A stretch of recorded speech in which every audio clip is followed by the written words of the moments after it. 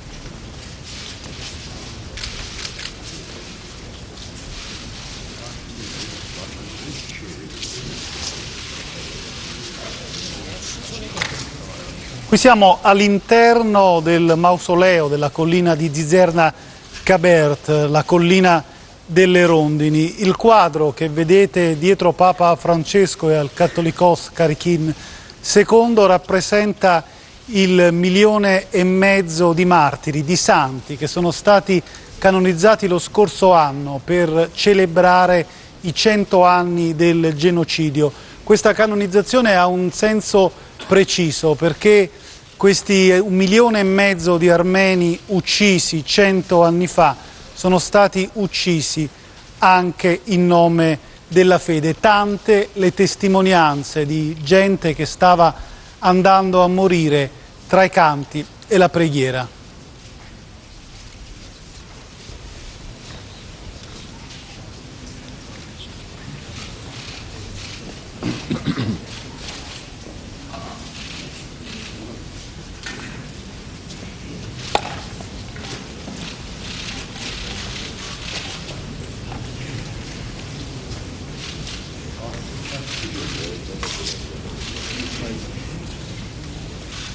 Օրհնյալ Տեր մեր Հիսուս Քրիստոս ամեն Հայր մեր որ երգինս ես Սուրբ Եղիցիանուն քո Եկեսե արքայություն քո Եղիցին գամ քո որպես երգինս եւ երգլի Ըսած մեր հանապազոր դուր մեզ այսօր E questa è la preghiera del Padre nostro. Որպես եւ մեկ թողունք մերոց բարդաբանած եւ մի տանիրս մեզի փորձություն այլ բրգյաց մեզի չարև, զիքոյի արքայություն և զորություն և բարք հավիտյանս ամեն։ Եվ եվս աղությանս տեր աղաչես սուր կնկակեցո եղորյավ։ Ոսնություն և պարկոր և ոսկոր և ոսնություն պարգնեմիշտի աղաչյանս աղաչյանս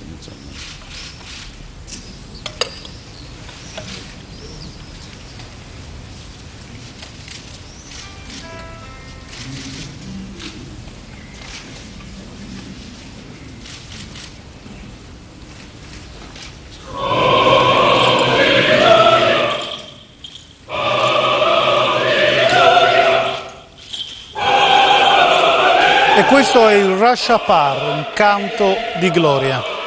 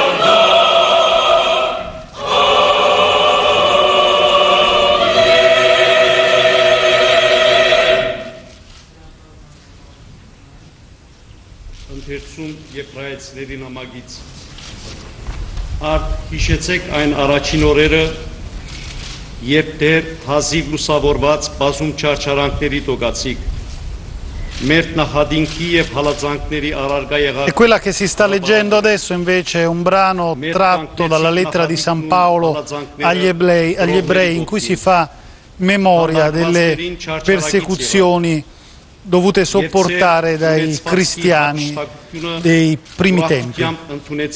Գիտենալով, որ երկնքում ավելի լավ ունեցվածներ ունեք, որոնք մնայուն են։ Հետևաբար մի գործրեք ձեր վստահությունը, որի մեջ մեծ վարչադրության հադուցում կա։ Պետք է համբերել իմանաք, որբեսի Աստծո գամքը կատարելով դիրանակ նրա խոստմանը, որովհետև քիչ շատ քիչ ժամանակ եւս եւ քալու է նա, ով պիտի կա առանց ուշանալու։ Այն ժամանակ ասում է դերը իր անցն ինձ վստահած արդար մարդը գփրկվի իր հավատով բայց ինձանից երես դարձնող մարդուն ես նկատի չեմ առնելու մենք սակայն աստուծուց երես դարձնողներից չենք որոնք սահմանված են գորստի այլ բահում ենք հավատը մեր հոգին հրգելու համար Alleluia,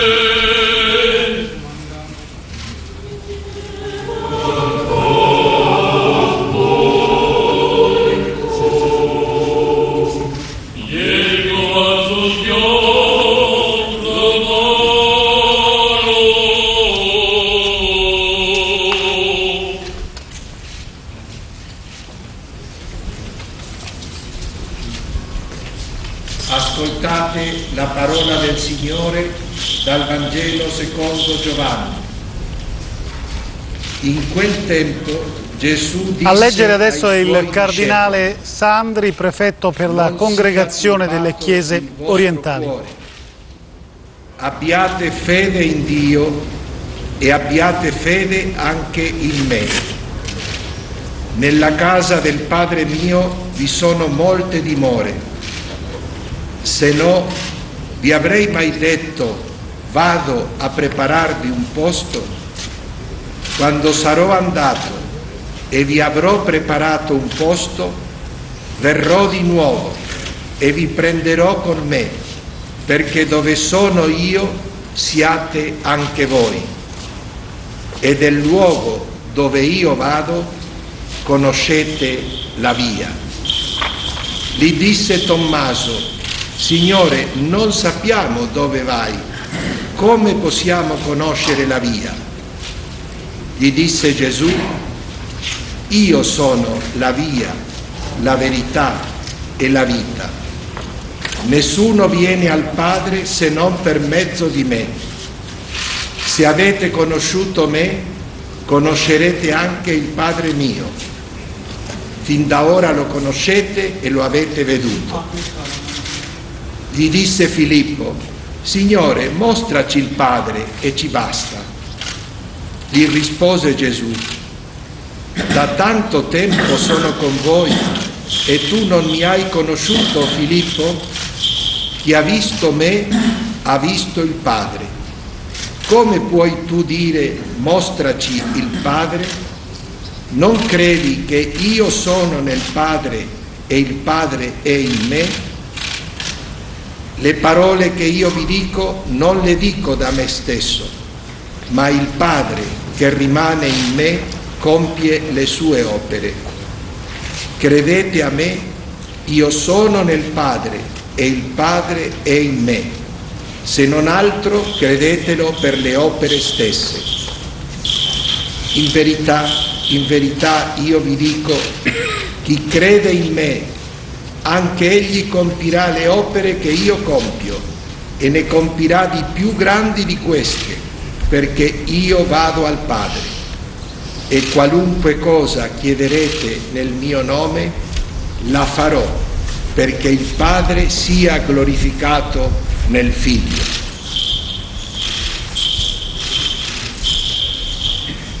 Hristos a spațnec, vas în sub pacico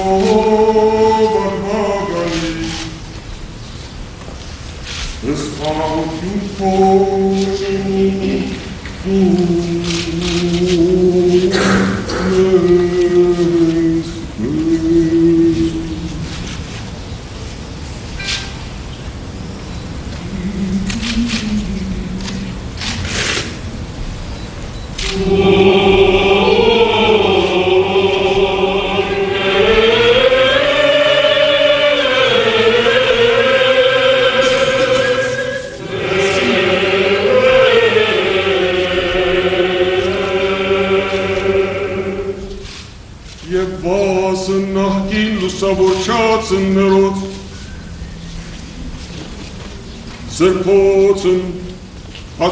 Հովսի հետ Բարտոլմեոսի եւ Սրբոց Հակոբյանց երթանի գարակելոցն եւ Սրբուն Գրիգորի Մերոլուսավորչի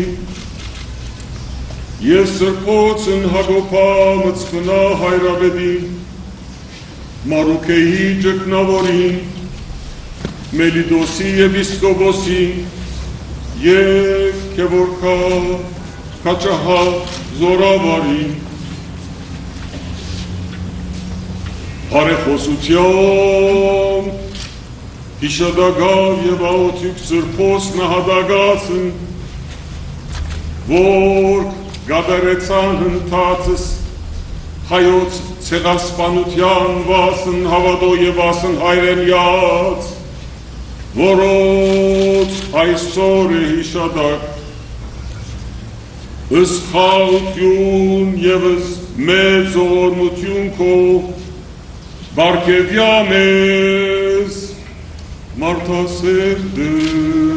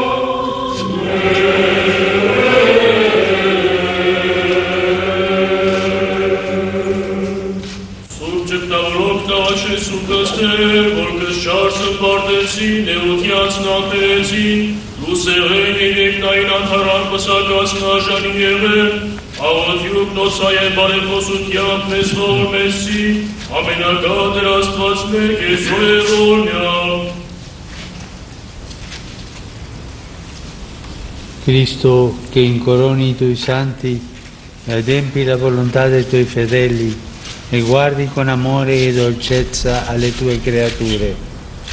Ascoltaci dai cieli della tua santità, per l'intercessione della Santa Genitrice di Dio, per le suppliche di tutti i tuoi santi e di quelli di cui oggi è la memoria.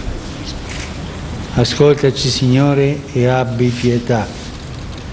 Perdonaci, espia e rimetti i nostri peccati. Rendici degni di glorificarti con sentimenti di grazie, insieme al Padre e allo Spirito Santo, ora e sempre nei secoli dei secoli. Օրհնյալ Տեր մեր Հիսուս Քրիստոս, ամեն։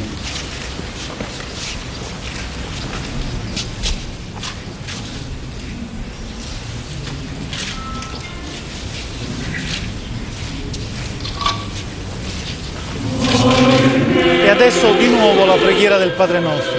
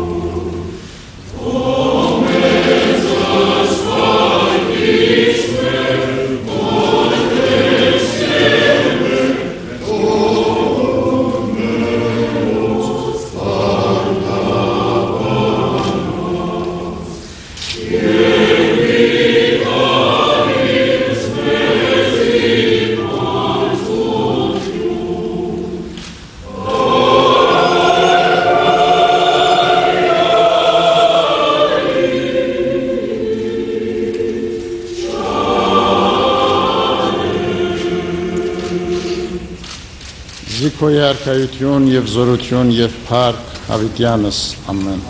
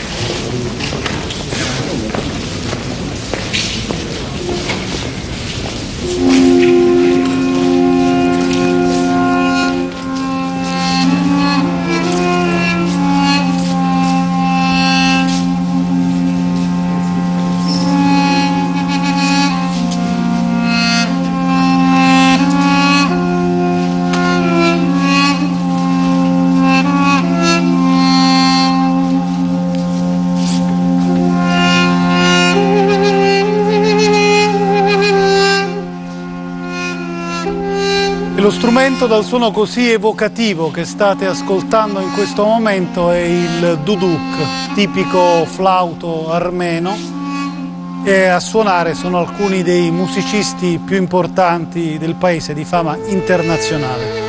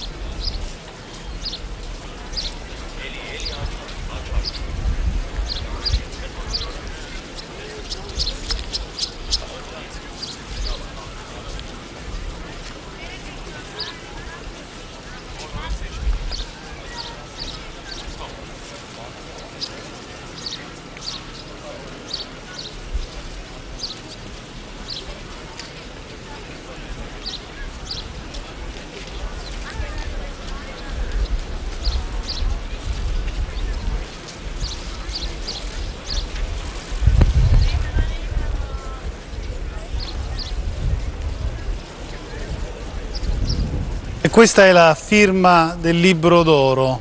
Scrive Papa Francesco, qui prego col dolore nel cuore, perché mai più vi siano tragedie come questa, perché l'umanità non dimentichi e sappia vincere il bene e sappia vincere con il bene il male. Dio conceda all'amato popolo armeno e al mondo intero pace e consolazione. Dio custodisca la memoria del popolo armeno. La memoria non va anacquata né dimenticata, la memoria è fonte di pace e di futuro.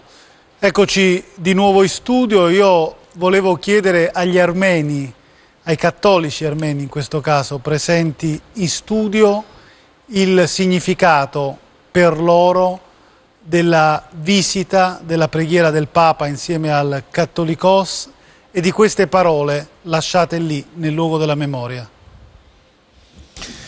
Eh, comunque è molto difficile non commuoversi, intanto anche 4.000 chilometri lontano dall'Armenia, vedendo questa, eh, queste parole, sentendo queste parole, vedendo questa accoglienza e in modo particolare le cose che Papa Francesco eh, sta eh, cercando di dire non soltanto al popolo armeno, ma anche forse qualche cosa anche ai, ai nostri vicini, nel senso che non anacquare la memoria significa avere cura della memoria intanto. E in secondo luogo è un invito anche agli armeni stessi di fare un secondo passo, cioè partire dalla memoria perché guai se noi perdiamo la memoria anche perché dobbiamo proprio a Papa Francesco questo coraggio di eh, affrontare la verità e la realtà seguendo le sue parole di un anno fa. Eh, purtroppo la generazione che mi ha preceduto ha sofferto non soltanto sia la generazione dei miei nonni che dei bisnonni, non sono soltanto morti per colpa del nazionalismo turco, ma sono morti per tutti gli anni dopo. Per la mancanza di memoria. Per la mancanza di memoria e per il silenzio. Ecco, eh, Papa, Papa Francesco, detto, no, tutti quelli che si sono voltati dall'altra parte. Papa Francesco eh, ha detto una cosa bellissima, aggiungendo penso al testo ufficiale che c'era scritto, ha detto le grandi potenze che si sono voltati dall'altra parte quando succedeva quello e la stessa cosa hanno fatto anche oggi. Per cui Francesco ci sta dando delle, eh, delle notizie precise. Tra l'altro chiedo conferma a Luis, ma anche questo scritto ha una parte aggiunta a braccio. Abbiamo visto che il Papa aveva un, un foglio preparato E invece però poi ha aggiunto l'ultima parte a braccio, quella in cui dice che la memoria non va annacquata né dimenticata, ma la memoria è fonte di pace e di futuro. Questo è sì, non era cuore. nella traccia originale che normalmente lui ha davanti per scrivere in italiano. Lo ha aggiunto strada facendo all'ultimo momento come ha fatto in due o tre momenti di questo viaggio e sappiamo che lo fa spesso. Quali sono invece i tuoi sentimenti davanti a questa giornata, le immagini che abbiamo visto? È un messaggio forte per la pace, cominciando dalla memoria, per costruire, per impedire affinché succedano delle tragedie come purtroppo vediamo che succedono nel mondo. Io sono armeno della Siria e mi tocca questo forte eh, abbraccio del Papa al popolo armeno, ma cominciando dalla loro storia proprio dal, dall'evangelizzazione, ma fino agli ultimi diciamo, eh, pagine nere Perché che la tua città... Armeno Siriana è una città martire oggi, sì. non, cento sì. anni fa. È Questa stata è invasa la... due anni fa. È stata invasa due anni fa. Sono... I miei genitori stati... ma ancora vivono lì. Molti sono morti invece.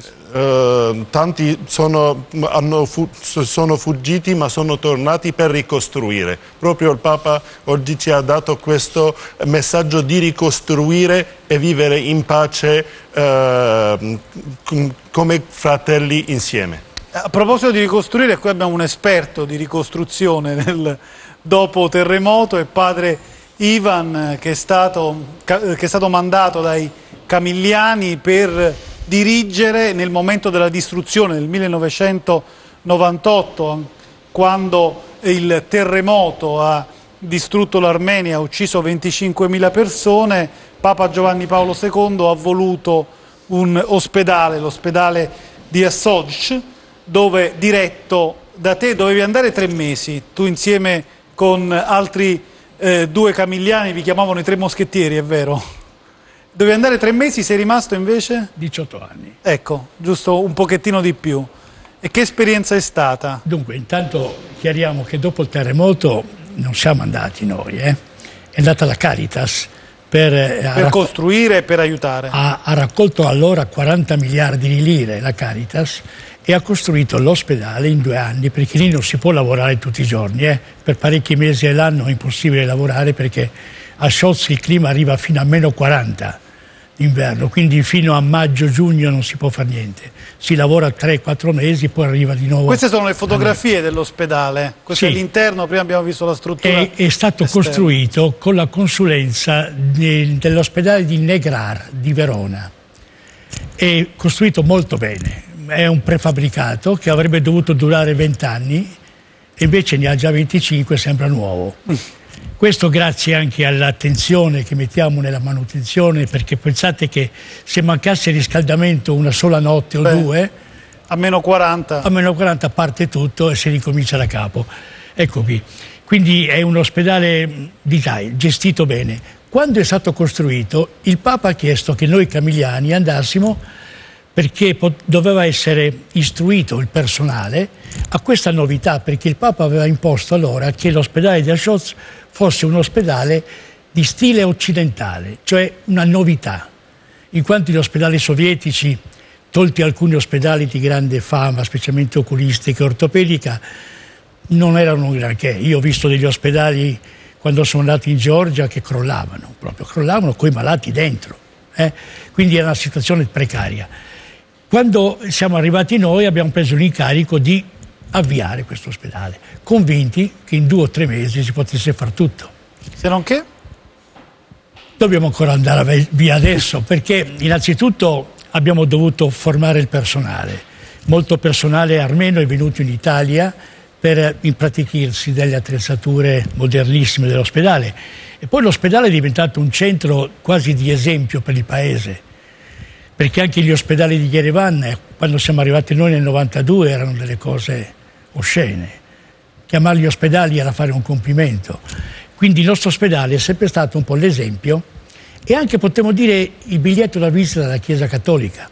Allora c'erano due o tre preti armeni cattolici in tutta, la Georgia, in tutta l'Armenia e quindi l'ospedale era un po' l'immagine della Chiesa Cattolica perché era l'ospedale del Papa, cioè il Papa era intervenuto direttamente perché si fosse costruito in quella zona, non sapendo che quella zona è la zona dei cattolici. E tra l'altro un biglietto da visita in qualche modo citato non soltanto espressamente nella messa, ma anche nella giornata di ieri Papa Francesco ha detto agli armeni noi siamo una minoranza qui come Chiesa Cattolica, però vogliamo esserci nella costruzione del Paese proprio a partire dai più poveri, dagli ultimi, dunque anche dagli, dagli ammalati. Mi sembra tutto non molto dimentichiamo coerente. le suore di Madre Teresa che hanno iniziato prima di noi. Sì, Madre Teresa personalmente le ha portate in Armenia e in Georgia quando c'era ancora l'Unione Sovietica e queste suore hanno fatto scoprire in questo paese, in questi paesi, che esistono anche i disabili e gli handicappati,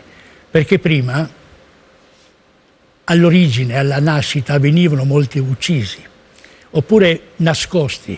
Con le suore di Maria Teresa abbiamo avuto anche i disabili e gli handicappati, sono stati accolti e trattati e molti di questi sono stati adottati anche da paesi dell'Occidente quindi un esempio eccezionale, senza contare le suore dove il Papa Insomma, ha mangiato un, oggi. un bel biglietto da visita. Il Papa ha mangiato oggi, presumiamo a questo punto che stia in questi minuti terminando anche le visite delle basiliche di Gyumri e pronto per dirigersi 80 km più là alla capitale Yerevan, un viaggio breve ma colmato dall'aereo perché si tratta di zone montuose che avrebbero avuto necessità di un viaggio automobilistico molto lungo e qui tra poco Papa Francesco eh, celebrerà insieme al Cattolicos una eh, preghiera ecumenica per la pace. Noi ci fermiamo un attimo e poi ricominciamo con le notizie e il racconto in diretta.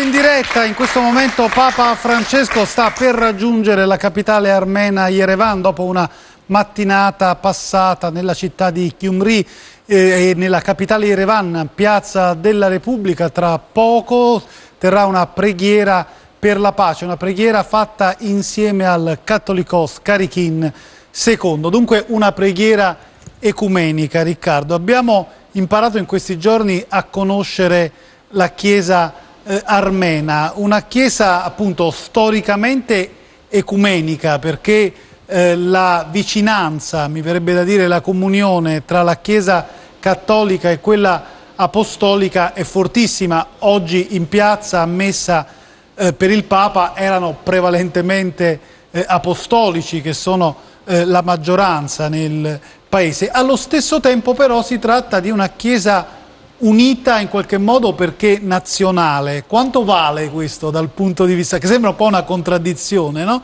E ti volevo chiedere dal tuo punto di vista di ecumenista quanto, quanto vale l'esempio della Chiesa armena?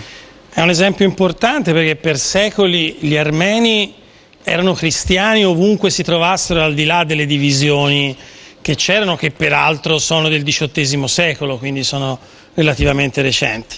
È un ecumenismo che è cresciuto nel tempo perché gli armeni hanno sempre trovato accoglienza dagli altri cristiani, hanno imparato a conoscere gli altri cristiani nella sofferenza, nell'esilio, mantenendo però la loro identità. E questo è stato un dono prezioso che negli ultimi decenni ha dato tanti frutti, perché i rapporti fra cattolici ed armeni negli ultimi anni, pensiamo ai primi incontri durante il Vaticano II e poi Paolo VI, soprattutto Giovanni Paolo II, hanno fatto così che si è cominciato a scoprire quanto cattolici e armeni avevano insieme e quanto importante era la loro testimonianza comune, soprattutto per non perdere la memoria delle sofferenze e per costruire un ecumenismo non solo teologico, ma un ecumenismo quotidiano in grado di vivere la pace. A proposito eh, di memoria citata eh, adesso da Riccardo, mi pare Luis che sia una parola chiave di questo viaggio, però coniugata da Papa Francesco non al passato ma al futuro. Sì, è vero, tanto così che nell'omilia di stamane, nei tre concetti che lui ha sviluppato, eh, la memoria è il primo e questo è stato un po' sorprendente, almeno per me, perché essendo gli altri la fede e l'amore misericordioso di Dio, io mi sarei aspettato che lui partisse dalla fede, dalla persona di Cristo, o dalla misericordia, dall'amore misericordioso e alla fine mettesse la memoria. Invece l'ha messa al primo punto, tanto così che alla fine ho pensato che questa giornata del Papa la dobbiamo ricordare come la giornata della memoria. E, e, e che cosa significa la memoria eh, in, in, in, Papa Bergoglio? Sto pensando anche al suo magistero a Buenos Aires, perché non dobbiamo mai dimenticare che tutto parte da là. Da lontano. Da lontano. Significa quello che lui spesso diceva, no? citando un filosofo tedesco, Friedrich Nietzsche, attenti, l'animale e l'uomo è l'unico animale che intrumpa due volte nello stesso sasso. L'unico animale senza memoria. Ciò significa che l'unico modo di non andare a finire due volte nello stesso errore è avere memoria, che è un po' quello che ha ricordato te prima. Quindi questa sua insistenza in diversi modi, anche nella gestualità visitando il memoriale, non è altro che dire dobbiamo mm, coltivare, dobbiamo far crescere la memoria perché la memoria ci salva degli errori.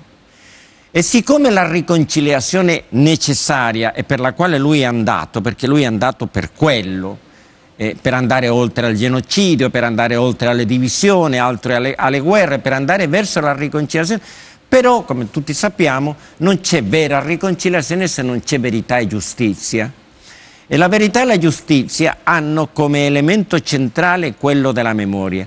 L'unico modo perché l'uomo, e il Papa stamani ha parlato di memoria singola, di memoria cristiana, di memoria di Cristo, di memoria di popoli, ha parlato anche stamane, e l'unico modo è non dimenticare mai che abbiamo come esseri umani il difetto di non ricordarci dei nostri errori Ecco lì la citazione di essere l'unico animale, perché un cavallo una volta che ha trovato una, un sasso e si è fatto male, non lo dimentica. Non lo dimentica mai. Noi lo dimentichiamo subito e lo ritroviamo questo sasso. Non ci deve essere un altro genocidio, non ci deve essere un'altra matanza. Nel caso del popolo armeno però c'è stato un tentativo come dire, di fargli dimenticare la propria storia, eppure ci sono cose indimenticabili, anche complesse e contraddittorie, come per esempio è la storia della tua famiglia, del tuo bisnonno, se non ricordo male, che era un ufficiale dell'esercito turco. E che cosa gli è successo? Sì, mio... Che aveva combattuto per esercito. Sì, era un ufficiale dell'esercito ottomano, era eh, ferito appena rientrato Dai dalla guerra del, balcanica e eh, praticamente ferito in caserma è stato eh, assassinato, ammazzato perché era armeno, perché era arrivato già l'ordine di eh, annientare tutti gli ufficiali e soldati turchi. I soldati semplici venivano disarmati e portati certe volte fuori dalle caserme, certe volte addirittura all'interno delle caserme, fatti scavare dei fossi da parte loro e poi uccisi.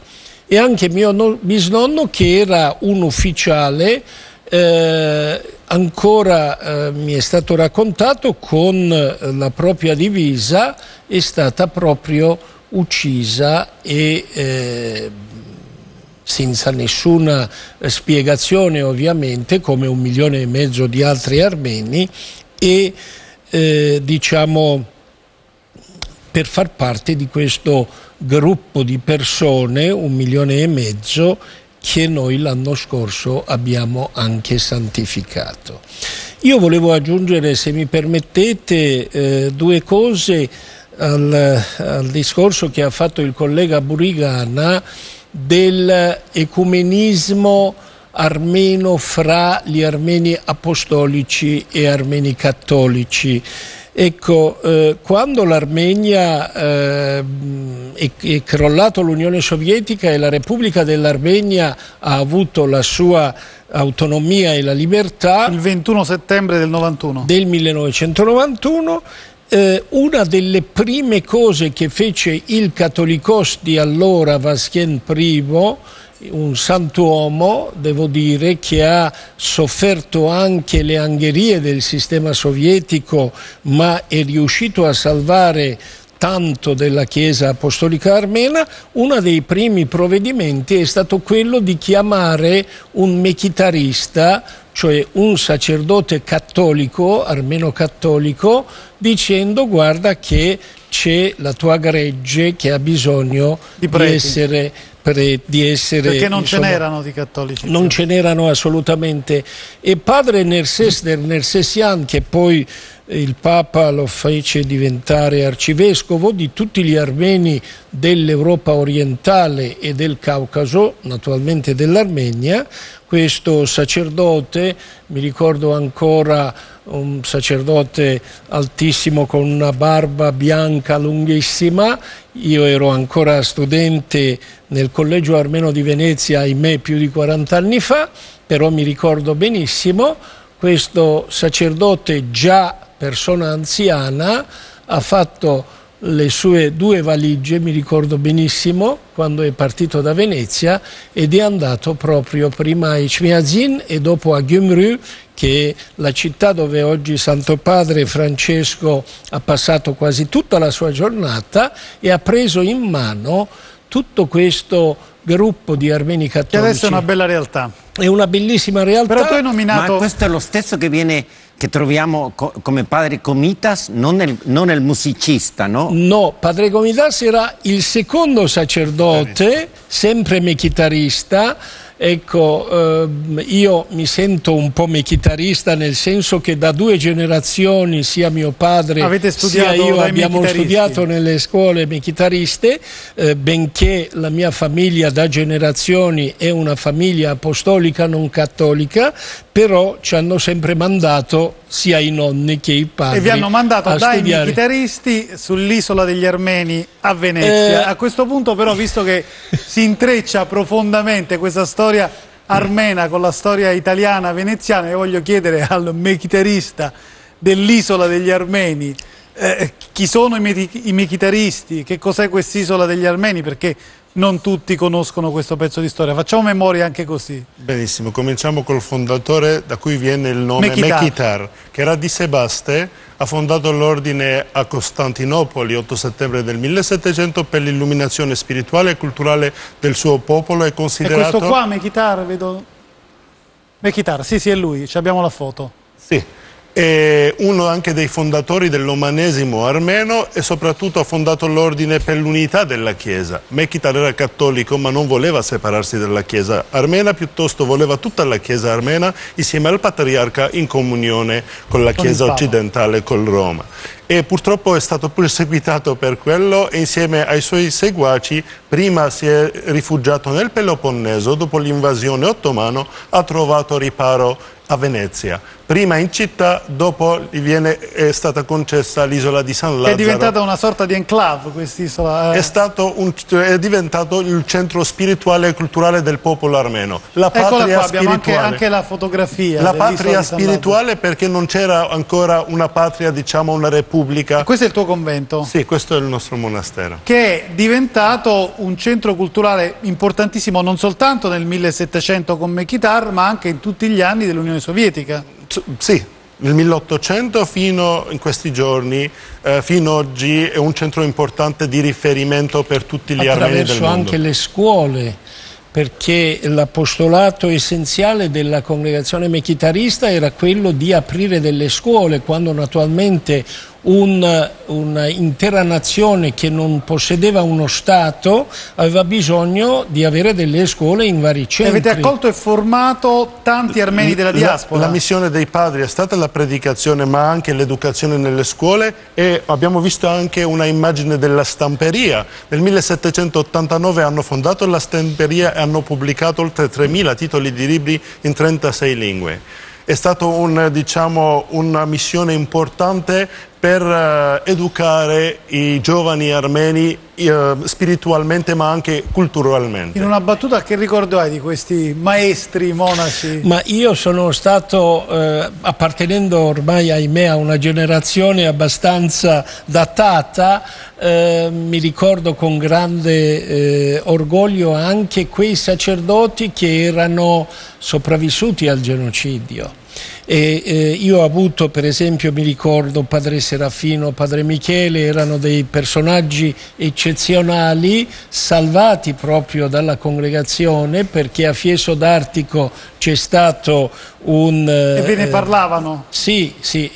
Poco, poco. Io da questo punto di vista non ho mai sentito per esempio una nota d'odio nelle parole di queste persone. No, quindi una testimonianza grande. Questa persona, a queste... proposito vorrei aggiungere una cosa, proprio la storia dell'orfanotrofio mechitarista è cominciata col desiderio del delegato apostolico lì, eh, Monsignor Dolci, che ha voluto per gli orfani armeni un orfanotrofio e i padri mechitaristi sono venuti incontro alla proposta del Papa di, affinché loro occupassero proprio di questi orfani, hanno fondato l'orfanotrofio del Papa Benedetto XV a Istanbul a Kadıköy, dopo quando c'è stato un altro flusso di orfani a causa dei massacri di Smirne 1922 e non, non c'era posto, l'hanno trasferito prima a Fiesto d'Artico come eh, ha accennato il professore ma dopo eh, col Papa eh, Pio XI, anche grazie al suo aiuto, hanno ottenuto l'orfanotrofio di Milano, hanno fondato lì l'orfanotrofio, hanno educato tanti eh, ragazzi armeni, tra loro anche i padri nostri che sono venuti a San Lazzaro, sono diventati sacerdoti. E lì, e lì a quell'orfanotrofio di Milano, voluto da Pio XI, sono poi stati mandati, sistemati, educati, fatti crescere una buona parte di quei 400 bambini che erano stati all'inizio ospitate nelle ville pontificie di Castel Gandolfo.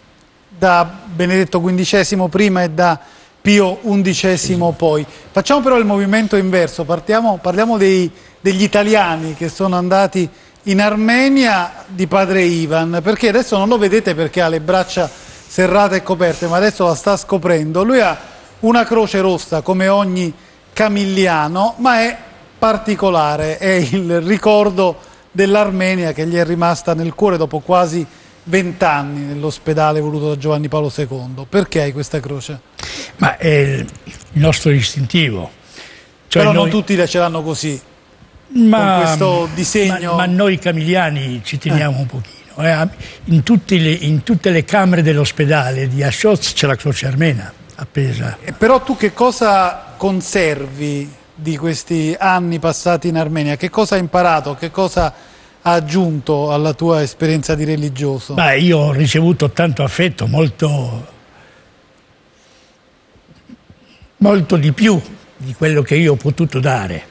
Perché, come ho detto forse a qualcuno anche, questo popolo armeno, al di là di tutto quello che abbiamo sentito dire, i tormenti e le passioni, è un popolo molto affettuoso, molto attaccato, che sa darti il cuore veramente.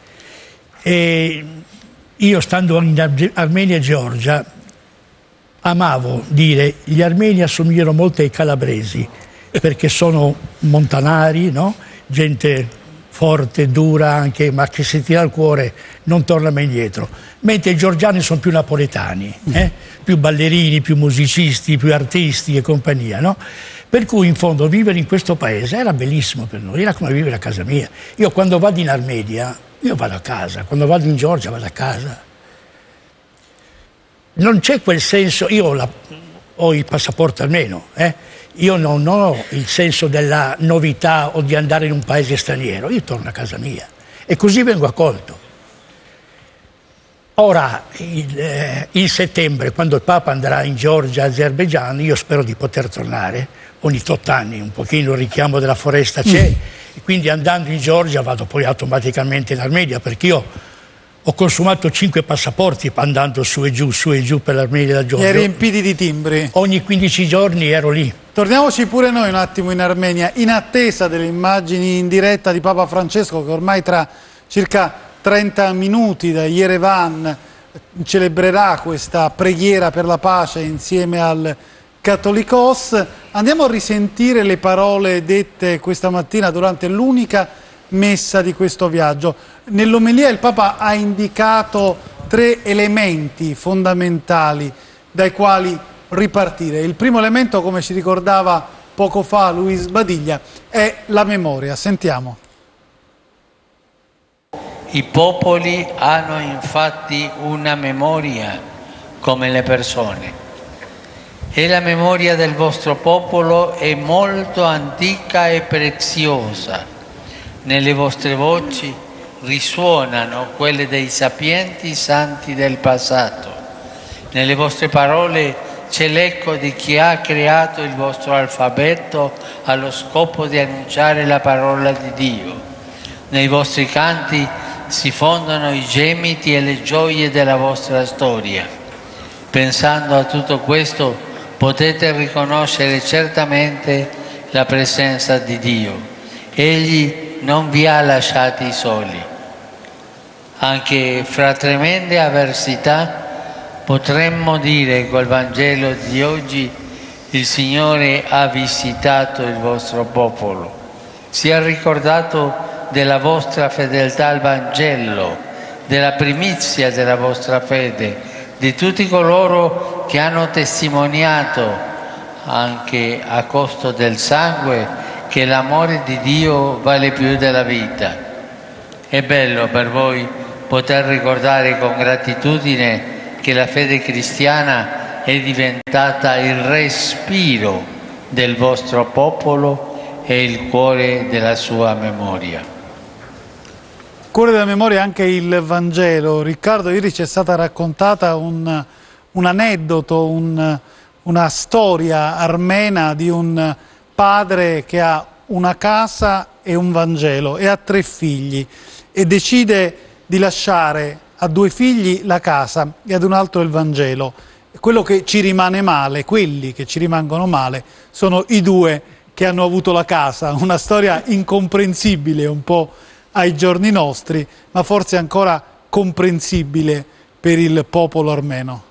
Sì, un popolo che ha sempre rivendicato il suo essere cristiano, che ha costruito la sua storia, la sua cultura nel rispetto e nella tradizione di questo passaggio così importante. Papa evocava anche la scrittura armena, la storia dell'Armenia scritta da questo straordinario personaggio Agatangelo nel V secolo. Prima parlavamo di San Lazzaro Infatti degli Armeni. un altro adagio dice che l'armeno è una lingua, in questo caso l'alfabeto perché la lingua era precedente all'invenzione del monaco, fatta per pregare.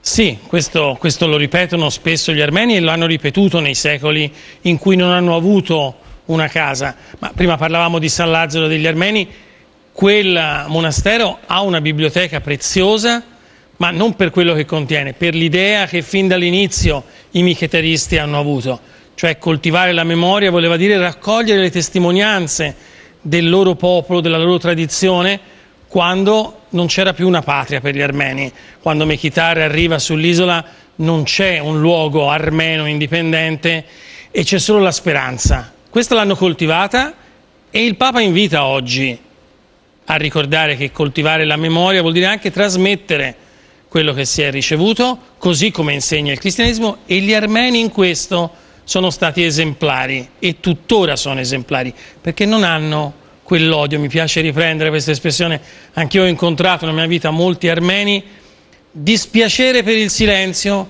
ma non odio nei confronti di chi ha commesso le atrocità per tutto il Novecento.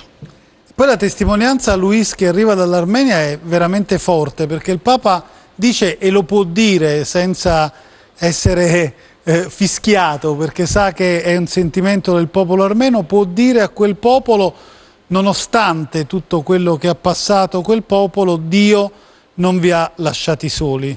Ci vuole fede per dire questo anche alla luce della storia, no? Ma io ho l'impressione che il Santo Padre sia stato molto sicuro e convinto nel dire questo e in ripeterlo un paio di volte, perché non è altro che il sentimento del popolo armeno. Io ho l'impressione, da quel poco che sono riuscito a conoscere e a capire nella preparazione di questo viaggio così importante, che sta andando meravigliosamente bene, perché sta andando come lo voleva il Santo Padre, stanno una volta che è passata tutta questa tifoseria per la parola genocidio, la usa, non la usa, vedo che incomincia la stampa a reagire bene e a far passare i messaggi di fondo di questo viaggio che in un primo momento erano stati, erano stati trascurati e oscurati. Questo uno dei messaggi di fondo è proprio questo che tu hai ricordato adesso, cioè il Papa non fa altro che dare voce o interpretare quello che il popolo armeno nella sua eh, versione per così dire apostolica che in quella cattolica sente profondamente eh, il popolo armeno oggi e il popolo armeno nel passato, come ricordava Riccardo prima.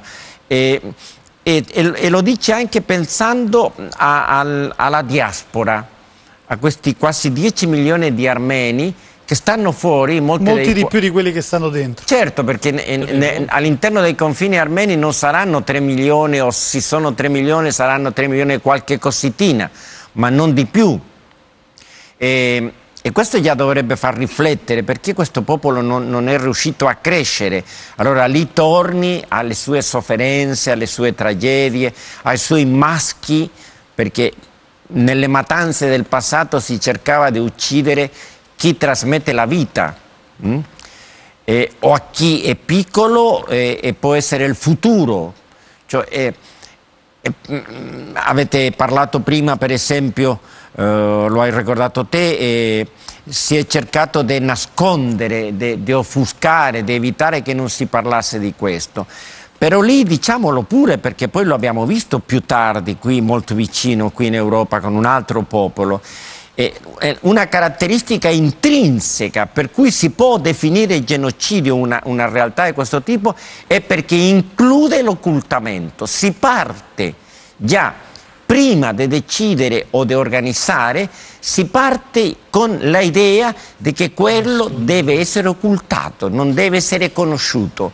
Cioè è naturale, fra virgolette, l'occultamento, la sottovalutazione, il silenzio, perché quello è anche parte del cuore della tecnica del genocidio. L'eliminazione totale, insomma, eh, no? Anche l'eliminazione della memoria, l'eliminazione sì. della memoria. Il negazionismo è intrinseco, al, intrinseco genocidio. al genocidio, non è una cosa che viene dopo. E, e finisco dicendo, e, quando il Papa ieri, per esempio, credo che io, voi l'avete già sottolineato, però secondo me è molto importante tornare, eh, quando ha, ha, pronunciato a braccio quel genocidio, e l'ha fatto con un tono molto fermo e deciso, quel genocidio, che poi è diventato notizia, addirittura ad Ereva nella sala stampa del viaggio è, è, è venuta fuori un boato di applausi, una, una tifoseria non, non molto elegante, da parte dei miei colleghi, ma non era quella la notizia. Il genocidio magistero pontificio da moltissimi anni, magistero pontificio, guardate quello che sto dicendo. Non era la, la notizia era la frase successiva che ave, avete ricordato prima, come di fronte a quella ad altre tragedie le potenze hanno girato la testa. E lo stiamo vedendo in questi giorni. E tra poco vedremo invece la memoria rivolta al futuro, la preghiera per la pace, una preghiera che c'è nello stesso giorno della preghiera per la memoria. Ma tutto questo tra poco perché dobbiamo fare una piccola pausa.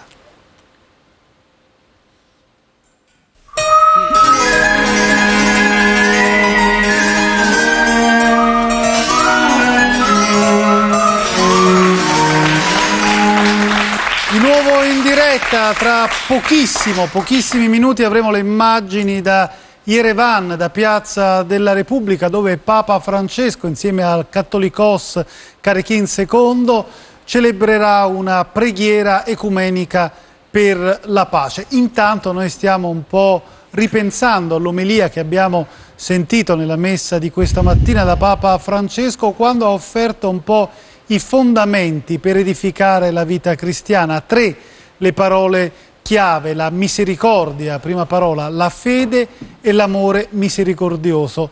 Dunque, in qualche modo questo amore misericordioso che è quello poi in fondo che apre, che manda in missione, nasce dalla memoria, una memoria che produce. Una memoria che sicuramente non ha tradito, questo va detto, nel senso che il popolo armeno ieri si è sentito anche nelle parole del Presidente della Repubblica d'Armenia, quando ha detto, anche con una semplicità quasi disarmante, ha detto Santo Padre, la cristianità per noi è uno stile di vita. E forse in questa frase eh, c'è una grande verità.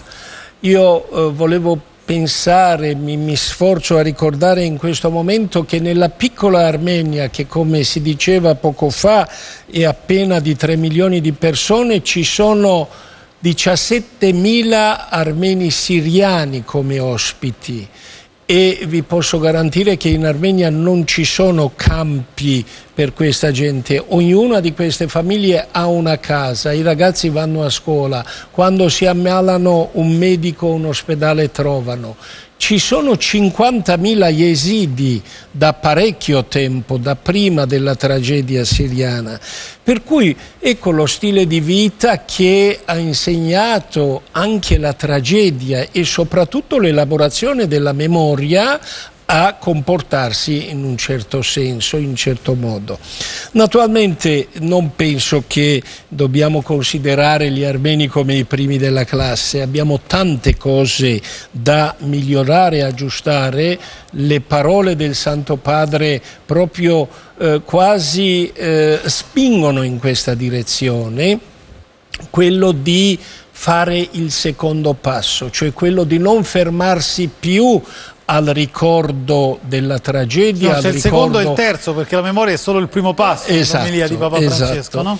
E nella, nella, seconda parte è quello di eh, mettere in, in atto quello che ci ha insegnato la memoria, anche quei silenzi. Per esempio, io personalmente ho sempre pensato, avendo anche a che fare con altre popolazioni nostra, del nostro Novecento con stessi terribili esperienze e altri hanno pensato e hanno eh, sicuramente movimentato la loro vita denunciando queste cose. Noi abbiamo taciuto. Ecco, in questa grossa differenza devo dire che questo tacere dell'armeno nel parlare sulla, sul genocidio e sulla tragedia non è stato probabilmente un silenzio tombale che è stato anche è stato costretto l'armeno a non parlare, ma l'elaborazione è stata fatta in ognuno di noi. Noi abbiamo avuto la possibilità di elaborare il lutto di elaborare il nostro passato e la nostra memoria, cosa che purtroppo non è stato lasciato al nostro antagonista, al popolo turco. Quando oggi giovani turchi dopo tanto tempo si rendono conto che i loro nonni sono responsabili di un terribile atto che si chiama genocidio, come molto chiaramente Papa Francesco ha ripetuto più volte, ecco, eh, danno, eh, si sentono piuttosto eh, scomposti anche le reazioni che hanno avuto, addirittura a livello statale. Cioè quando si sente una parola e uno Stato che non è uno statarello qualsiasi eh, arriva a ritirare il proprio ambasciatore, penso che sia proprio una risposta assolutamente non adeguata a una persona molto autorevole che stava cercando soltanto di coinvolgere l'altra parte. Io credo che questo possa essere anche un po' il senso della preghiera della pace di oggi, non soltanto ma, rivolta al passato sai, ma anche al futuro. Dimmi. A proposito di questo vale la pena ricordare perché è molto importante che dopo che il Papa usò per la prima volta questo famoso termine, questa dicitura e via dicendo, sono scoppiate queste polemiche, ricordate la Turchia che si portò indietro il suo ambasciatore per un po' di tempo, poi lo fece rientrare un po' alla chitichella, sì. non si capisce perché, con quale causa, perché in teoria non sarebbe dovuto rientrare. Fin qua noi abbiamo monitorato la stampa turca in tutti questi giorni, dal momento che il Papa è arrivato, non abbiamo trovato reazione di nessun tipo all'uso di questa espressione che irrita le autorità turche. Eh, la stampa turca sta dando la notizia con più o meno una frase del tipo il Papa torna a usare la parola genocidio non abbiamo ancora trovato fin qua. Non ci sono dico, state fino a questo momento reazioni. Reazioni da, come la volta scorsa che ha parlato subito il capo del Dipartimento religioso, il Graf Musti, poi lo stesso Presidente Erdogan, il suo primo ministro, il Ministro degli Affari Esteri. La volta scorsa nelle prime sei ore avevano parlato tutti, poi continuarono a parlare per molti giorni. Fin qua no.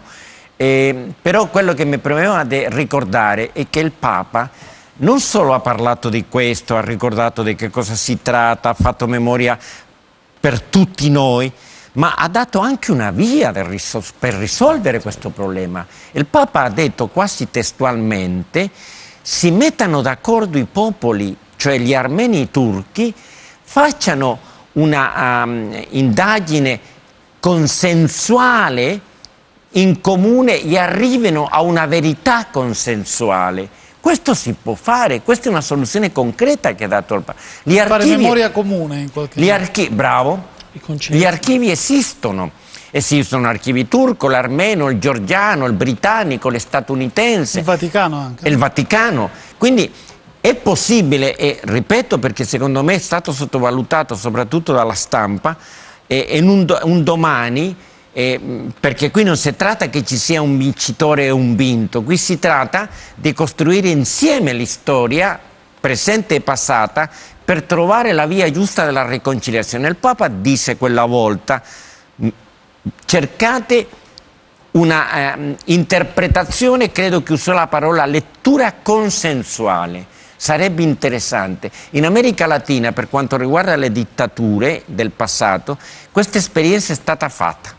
In molti paesi le famose commissioni verità e giustizia, verità e riconciliazione gli hanno dato dei buonissimi frutti punto, dal punto di vista della riconciliazione. Si può sperare anche per l'Armenia e la Turchia in questa strada? Sì, ma eh, questo passo dovrebbe essere da due reciproco, parti, no? reciproco ovviamente. Io vorrei eh, ringraziare il professore che ha citato anche gli armeni della Siria perché questa visita del Papa ha fortificato questi armeni della Siria che vivono lì perché è un operatore di pace, eh, Papa Francesco, e sempre dove sta cita la Siria e prega per la Siria. E... Sai che adesso poco fa il Papa, nella visita alla chiesa, alla cattedrale apostolico armena Giumri, prima di quella cattolica, ha incontrato poco fa, un'oretta e mezza fa, ha incontrato un gruppo di eh, profughi siriani sì. e disabili. È proprio questo, non solo gli armeni della Siria, ma gli armeni tutto il mondo hanno sentito la vicinanza e l'amicizia del Papa Francesco in questi giorni. Abbiamo immagini bellissime, credo che tra poco siamo in grado di mostrarvi in diretta da Piazza della Repubblica di Yerevan immagini di attesa di Papa Francesco e del Cattolicos che però credo siano già arrivati almeno a vedere una automobile che è lì vicino a una tenda vediamo il Presidente della Repubblica e la sua signora attendere l'arrivo di Francesco eh, intanto volevo tornare alle parole che abbiamo sentito, no? Eh, mentre suona l'orchestra in Piazza della Repubblica. Eh, tornare alle parole sulla eh, fede del, del, popolo, del, popolo, armeno. Quanto eh, trovi che eh, sia veramente, come ha detto il Presidente della Repubblica, Padre Ivan, uno stile e quanto e che diversità magari c'è anche da una storia antica di cristianesimo come può essere quella di noi italiani. Sì, effettivamente colpisce, conoscendo il popolo armeno, questa fede, no?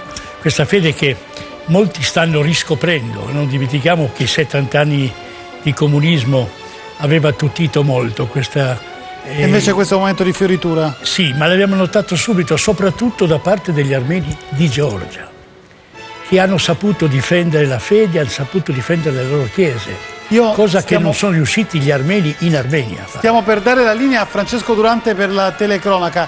Vorrei però in brevissimo chiedere a Riccardo Burigana il senso di questa preghiera ecumenica per la pace a cui stiamo per assistere. Il senso è che in una stagione dove ci sono tante speranze e qualche preoccupazione nel cammino ecumenico, insieme cattolici e armeni pregano insieme e ribadiscono che insieme i cristiani possono costruire la pace senza dimenticare il passato.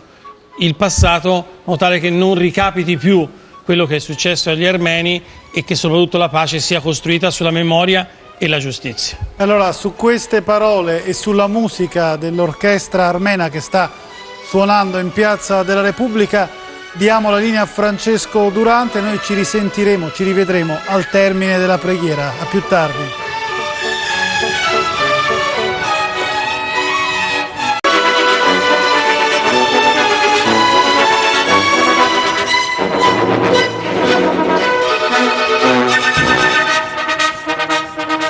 Grazie a Francesco Durante, mentre continuano ad arrivare immagini da Piazza della Repubblica, le vedete alle mie spalle, sembra di stare in Piazza San Pietro in questo momento, quando a margine delle udienze, degli incontri, Papa Francesco va a salutare in particolare gli ammalati, cui dedica sempre una attenzione particolare. Noi eh, restiamo a Yerevan, andiamo dalla nostra Cristiana Caricato, per farci raccontare anche un po' quella che è stata la sensazione da qui, ma lei sicuramente l'ha vissuta in maniera diretta, di una celebrazione molto suggestiva, calda, partecipata, di segni liturgici bellissimi eppure molto composta. Cristiana. Sì, eccoci in diretta da Piazza della Repubblica, una bellissima eh, celebrazione liturgica, una celebrazione ecumenica che ha visto due chiese sorelle vivere insieme un momento di grande intensità. Eh, per noi che eravamo qui abbiamo assistito a un grande spettacolo eh, di fede, Piazza della Repubblica, per la prima volta così affollata eh, di fedeli e pellegrini appartenenti alle due confessioni cristiane, alla Chiesa armeno-apostolica ma anche alla Chiesa eh, cattolica cattolica, vedere insieme il cattolicos eh, dell'Armenia, Karenin II e l'ospite graditissimo, atteso, amato e anche sostenuto in questi giorni in maniera incredibile eh, Papa Francesco. È stato, eh, dicevo, un momento di grande intensità e anche di grande commozione. Il Papa tra l'altro si vedeva, era completamente a suo agio, si è comportato esattamente come dicevi, eh, come se fosse a piazza San Pietro, poco fa le avete viste queste immagini straordinarie straordinaria del Papa che abbracciava e salutava come sua d'abitudine ciascun malato venuto ad assistere e a pregare insieme a lui per la pace e eh, l'unità nel Caucaso. Eh, il Papa tra l'altro è passato proprio a fianco a noi, abbiamo visto le stesse scene di sempre, gente che correva,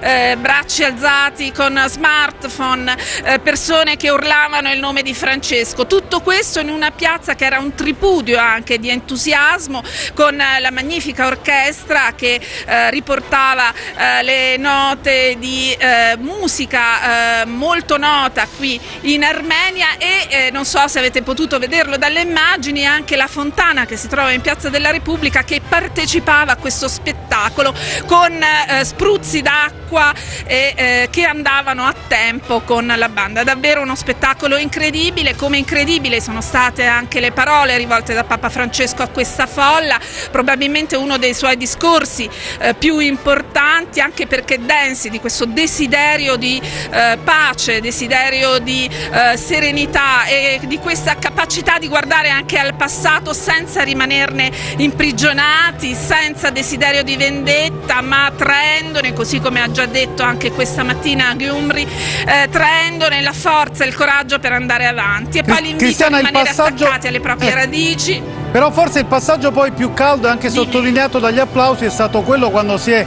rivolto ai giovani invitandoli ad essere costruttori di pace e non in astratto promotori di una cultura dell'incontro, in particolare con i turchi e con gli azeri. Sì, sì direi, direi, che eh, la parola che ha fatto sussultare è quella di una provincia amatissima, spina nel fianco per armeni, eh, ovviamente azeri, quella del Nagorno-Karabakh è stata quella la parola che ha fatto saltare tutti, una parola anche questa molto attesa, così come abbiamo visto quanto era stata spasmodica eh, l'attesa della parola genocidio, ma eh, è il, la, la consapevolezza appunto che il Papa partecipa a quello che è un dramma nazionale che da tempo eh, di fatto cons ha consegnato questa eh, nazione a una guerra non dichiarata e che comunque condiziona la vita, la quotidianità, le relazioni anche internazionali dell'Armenia. Quindi l'applauso più per il, eh, il, discorso rivolto ai giovani, bisogna essere onesti, è soprattutto per, questa, eh, per la citazione della provincia e di quella regione eh, dell'Armenia contesa che eh, in questo momento momento è sicuramente eh, il problema più grande per il governo armeno e avevate anche sentito sicuramente le parole rivolte da Karekin II nel suo discorso oggi estremamente politico con tanti accenni alle questioni calde, con accuse anche esplicite a Turchia, ad Azerbaijan, ai vicini che eh, continuano in qualche modo a minare la pace e la tranquillità dell'Armenia, almeno secondo il Cattolicos. Il Papa ha risposto alzando il tiro del eh, del suo discorso con, un, eh, con, delle parole che invitano alla riconciliazione, che invitano appunto a guardare avanti, a trovare anche le strade del dialogo e del confronto con eh, gli azeri certamente, ma poi dietro di loro anche con il mondo turco che continua ad osservare eh, da vicino tutto ciò che succede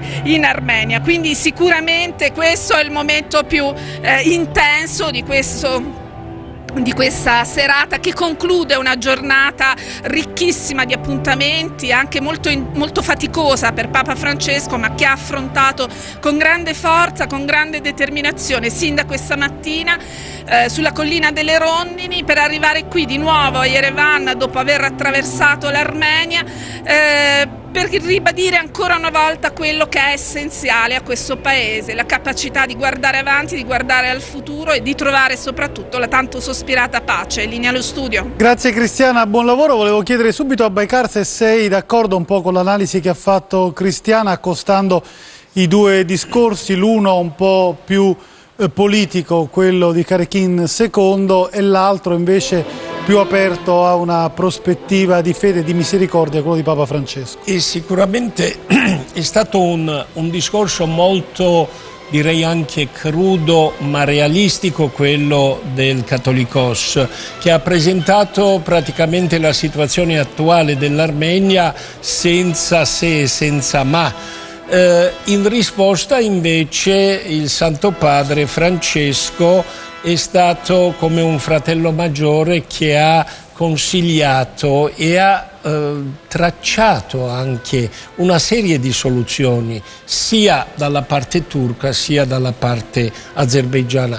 Poi eh, vorrei aggiungere un'altra frase molto importante che secondo me Francesco ha pronunciato, era quello di una comunione ormai completa fra due chiese, per cui ha sottolineato anche eh, durante il, il suo discorso e ha detto abbiamo fatto un lavoro, un cammino, ma adesso dobbiamo correre. Eh sì, è un passaggio che sarà piaciuto sicuramente molto a Riccardo Burigana, quello della corsa verso l'unità tra la sì, Chiesa Apostolica e la Cattolica. come gran parte di questo discorso che è un manifesto all'ecumenismo, un ecumenismo radicato sulla scrittura, è un imperativo che viene dalla scrittura, non è un accordo politico, non è un accordo emergenziale, ma è una prospettiva in cui i cristiani devono camminare insieme, conoscersi, condividere un patrimonio che già hanno in comune e soprattutto vivere in questo mondo.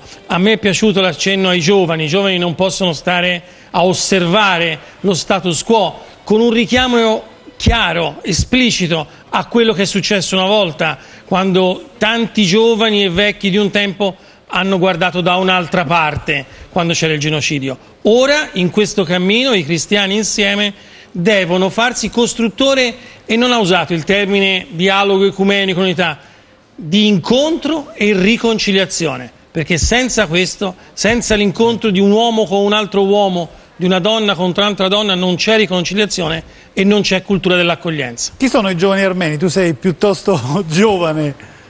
I giovani armeni stanno in Armenia, ma tutto A dispetto il mondo, della barba, diciamo. ovviamente, e che hanno tanto da dare o tanto da uh, vivere, ma l'importante è che ci sia la pace.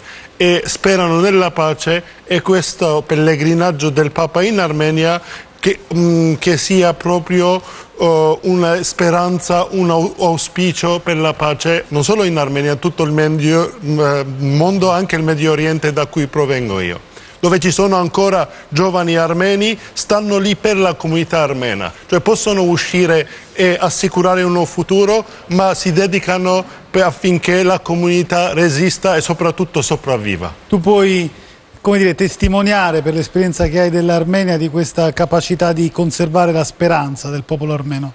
Non c'è dubbio.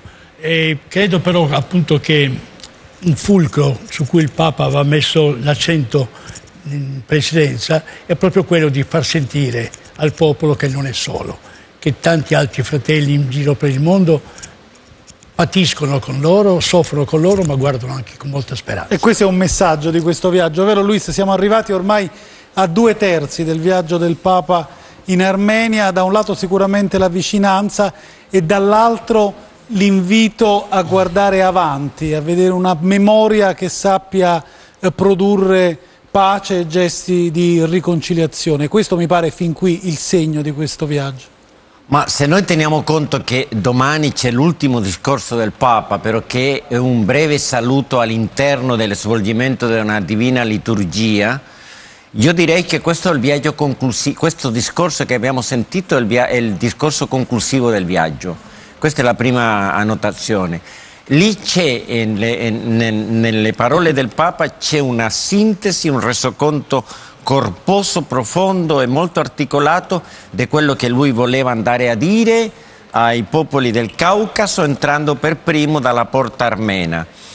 Arriveranno altre porte di questa regione, però eh, io direi che lì c'è eh, eh, il succo di quello che lui ha detto fin qua in queste prime eh, quattro allocuzioni. Manca quest'ultima di domani, però che è un saluto importante perché all'interno di una divina liturgia con i fratelli apostolici, però che non credo che aggiunga nulla di nuovo a quanto il Santo Padre ha detto. Poi la seconda cosa che mi sembra da, da sottolineare e che in un qualche modo a distanza ravvicinata, toccandosi, ha dialogato con il cattolicos e, e si sono viste le differenze. Ci sono differenze fra l'impostazione di quanto pensa il Santo Padre della situazione in Armenia e di quanto pensa il cattolicos, questo mi fa pensare che difficilmente ci sarà la dichiarazione congiunta che già era stata un po' uh, messa da parte perché mm, alcuni contenuti non erano stati ancora non erano abbastanza maturi e credo che eh, questa maturazione ancora non è arrivata. C'è un barlume di speranza, come si è detto, allo stato attuale non mi sembra che sia possibile. Insomma, niente, vedremo, vedremo domani. Niente, è drammatico, modo, però voglio concludere, penso che il Papa abbia anche anticipato alcune tematiche fondamentali ed è quello che sarà la seconda tappa del viaggio quando andrà fra 60 giorni in Georgia e poi in Azerbaijan. in Azerbaijan. E finalmente direi, perché lo considero veramente coraggioso, originale e interessante, a me l'intero discorso del Papa, che mi ha sembrato una vera e propria omilia, mi ha sembrato un'omilia giubilare. È, è, curioso che il Papa abbia scelto di, an di, di, andare là Luis, a fare questo. Sì, perché sì. il tempo a nostra disposizione è finito. Vi ricordo che questa intensissima, emozionante, importante giornata armena di Papa Francesco la potrete rivedere nel film che andrà in onda alle 21, dalle 21 alle 21.30. Il diario in diretta torna invece domani mattina alle 7 con Nicola Ferrante. Un grazie speciale ai nostri ospiti che ci hanno aiutato a leggere la storia di questa giornata. Adesso la linea invece al telegiornale. Ci vediamo domani.